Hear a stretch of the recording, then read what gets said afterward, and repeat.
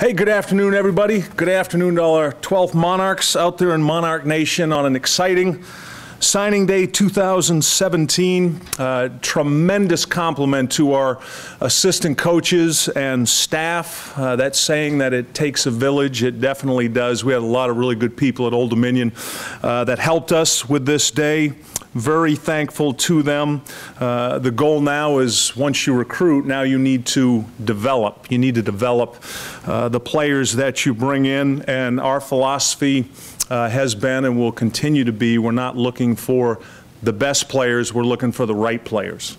Let me say that again. We're not looking for the best players, we're looking for the right players. And a question, Ted, I often get asked Coach, how do you feel about this class? Well, there's some pretty standard answers. So I always say, ask me in two years. Well, let's go back a few years and let's see how we felt about the class, starting with the class of 2014, which was our first year playing at FBS. Taylor Heinicke's senior year, we went six and six. In that class, we signed 24. 19 of the 24 have played at some point so far in their career. 16 of the 24 have started. Think about this class of 14. Ray Lawry, running back. Nick Clark at center. Oshane Ximines, defensive end. Jonathan Duhart, wide receiver. Justice Davila at safety, just to name a few in that class. So that was three years ago. Let's look at two years ago, the class of 2015. 22 of the 26 signed have played so far in their career. 12 of the 26 have started either as true freshmen in 15 or as redshirt freshmen this season in 2016. In 2015, Jeremy Cox, running back, Tim Ward, defensive end, who can forget his first game at Eastern Michigan, tips a pass to himself at the end to win the game. Tony Barnett, offensive line, Devin Hannon, offensive line, Miles Fox, defensive tackle, just to name a few. So when you think about the success of a class, I could tell you today about every one of these players and what I think they're going to be. Sometimes you need to look back a couple years to see who you are. And the names I mentioned, the number of players that have started from those two classes are a big reason why we were 10 and 3 this past season. You think about the roster this past season, only 14 seniors on a team that went 10 and 3. Six of those players this year that were key players for us were FCS recruits. Two of them, our two starting linebackers, Ricks and Wilson, were walk-ons. David Washington, quarterback who played multiple positions, FCS recruit. Zach Pascal. So you need to develop. You need to develop your players. That's what we'll do with this year's class. For the 2017 signing class, uh, 19 players, two currently here, 17 today that joined us. Uh, positional needs was critical. We're at the point now in our program, now that we have uh, been in the FBS for three years, where we're beginning to balance our classes. So when you look and see three defensive tackles, three offensive linemen, two linebackers, two defensive ends, two tight ends. Who would have thought that? Two tight ends, two quarterbacks, a wide receiver, a running back, and a safety. And we're not done. Signing day doesn't signify the end of the 2017 class, but I'm extremely pleased with the balance, uh, the job the assistant coaches did with the balance. As usual, the most players we have on the roster are from Virginia. Uh, in recruiting. And now when I speak to balance, let's look, let's take a quick look at the roster. We currently have 111 on the roster. When you add the numbers that we put in today. We're starting to gain balance. Uh, this is remarkable that I'm even saying this, but this year's senior class will only be 14 players. We're still uh, incredibly young on our roster. Uh, our junior class this year, this was the class of 2015 that I mentioned uh, earlier with those players that are in the class. Our junior class has 28 players in it right now. Sophomores 22, redshirt freshmen 30.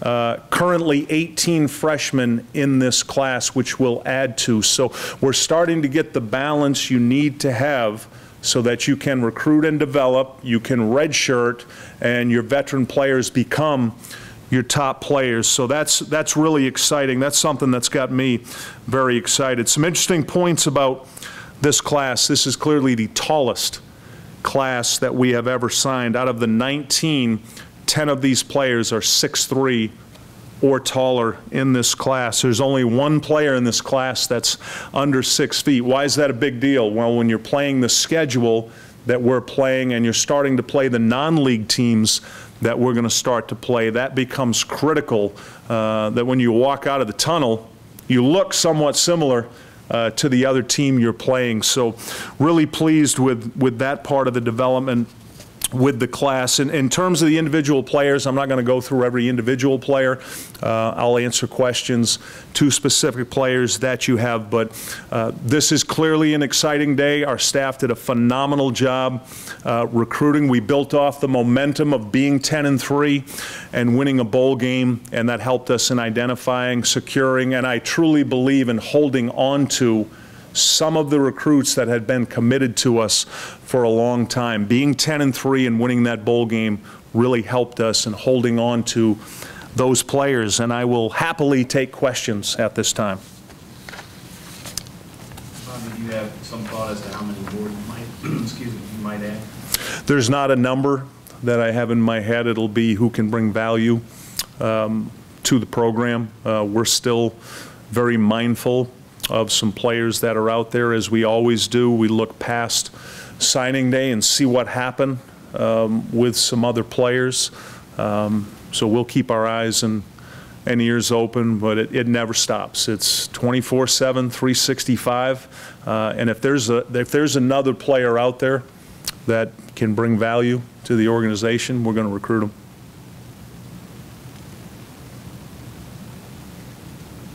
Bobby, can you talk a little bit about Jordan Foy and Mhm. what he brings to the program with, um, with his experience, and the fact that he played a year of junior college football? Yeah, Jordan played at, at Fullerton Junior College. He led them to the uh, the state championship in California, which is a major accomplishment. What was most intriguing to me about Jordan is the fact that he threw 37 touchdowns and only had six interceptions. And when you look at those numbers compared to what David Washington just did, David Washington was 31 and five. He was second in the nation, touchdown to interceptions. So uh, a quarterback that values the football um, is, is what's got me most excited about Jordan and his ability not only as a passer, but as a runner and the level of competition he played. And Stephen Williams Jr., I mean, big Mm-hmm. kid, young kid too, isn't he? Yeah, Stephen, uh, what really caught my attention was Stephen was at a camp we had this past summer, and he was a first in line guy all the time. And every drill we did, he was the first guy in line, uh, and he was clearly the hardest worker that was there. Um, and Stephen was having an excellent year this year, got set back um, with an injury, plays a good level of football, um, but being a first in line guy, like Jordan Hoy is a guy who values football, Stephen does the same. Those are the traits we look for in a quarterback. Is there a particular area with the signing class that you were happy with? All of them. Happy with all the areas. The, uh, the development, the size, quickness uh, in the offensive and defensive line. Uh, The reason we were 10 and 3 this year had more to do with how we performed up front than at uh, any other position collectively. When you looked at our, our offensive line and their development uh, under Chris Malone, our defensive line under Jeff Comissiong and their development, so to see the size and athleticism with the six players we currently have in this class, um, that's important, particularly with the schedule um, we're going to play consistently uh, in future years. Did you, um, five, five defensive line, was that by design, or did it just sort of work out that way? Both.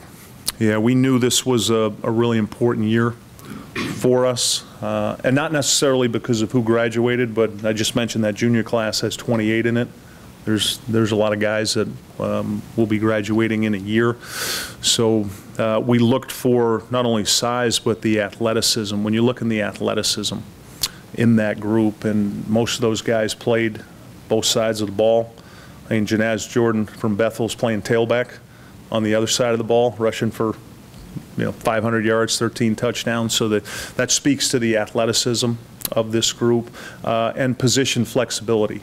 There's some position flexibility, not only with those interior defensive linemen, but with the with the edge players. And that's what we're trying to grow to on defense, is the ability to be flexible positionally, by game, depending on who we're playing. Are we playing a run-oriented team or a team that spreads it out and passes it? We, we need more flexibility in those positions, and that's what we got with this class. Anything else for Coach? I mean, one quick one, Mhm. a lot of Power Fives and, and some of the, your mid-major rivals come in and try and flip players at the end, and it seemed like you, you, I, I know some of the kids who signed with you, Mhm.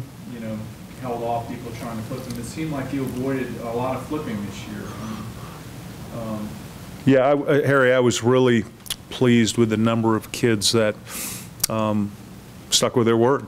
Um, A lot of that happens this last week before you get to February 1st. Um, We've talked multiple times about how I feel about the early signing period. Um, I'm confident this is going to pass, and I'm confident what you're going to see this December 2017 is a a number of these situations will be avoided. Um, But we were dealing with some situations, like everybody else was, last couple of weeks. I was talking to some of my other um, some of my other friends that are in Conference USA dealing with the, the same situation. Um, But we had a number of situations where players were approached at the end and said, no, you know, I'm, I'm going to Old Dominion. That's, that's my school. That's where I want to be. Uh, And it was, it was rewarding and gratifying um, to see and hear some of the things I heard, not only personally from our players that signed today, but from the assistant coaches, talking to the players and their families. Um, There's still a lot of, uh, still a lot of people out there that stick to their word and, and do what they say they're going to do. So we we were able to avoid um, multiple situations in that regard, and that's a good thing. Anything else for Coach? Thank you all for coming. Happy signing day to you, 12 Monarchs. We'll see you April 15th at our spring game.